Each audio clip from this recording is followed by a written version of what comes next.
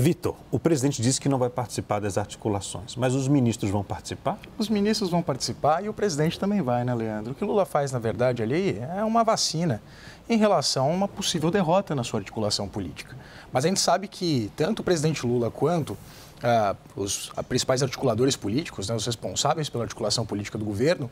têm de fato negociado em torno, inclusive, de um candidato ali que seja um senso comum, um denominador comum, como disse o presidente Lula,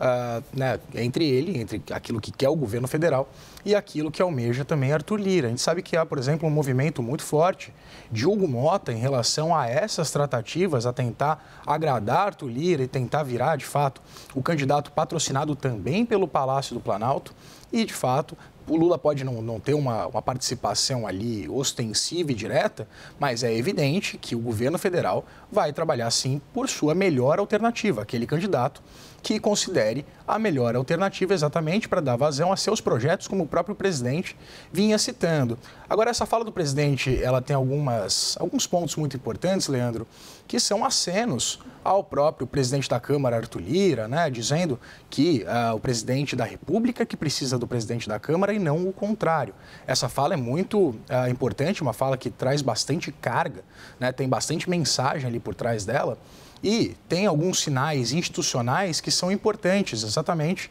uh, de Lula tentando trazer o Congresso Nacional para o diálogo, né, em meio a dificuldades da articulação política do governo. Mas o presidente Lula tem outras frases, por exemplo, ali, como ele, quando ele diz que, independentemente de gostar ou não do presidente da Câmara, vai conversar e que vem mantendo um diálogo respeitoso institucional, tanto com o presidente da Câmara, Arthur Lira, quanto com o presidente Rodrigo Pacheco. Essa fala de Lula, ela tem por, ah, ah, ali, né, por trás uma intenção de ah, empoderar os presidentes da Câmara e do Senado,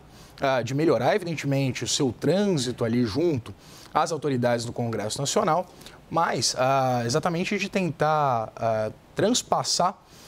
esse, esse recado de que trabalharia em torno de uma candidatura própria. É evidente que o governo tem seus próprios interesses e que vai trabalhar, vai mobilizar a sua base em torno da eleição, principalmente a presidência da Câmara, porque a presidência do Senado ela já parece um pouco mais decidida. Né? Dez entre dez senadores dizem que o próximo presidente do Senado será, de fato, Davi Alcolumbre. Porém, o presidente Lula faz essa sinalização, esse gesto, esse aceno ao legislativo, projetando as eleições, mas também né, se eximindo caso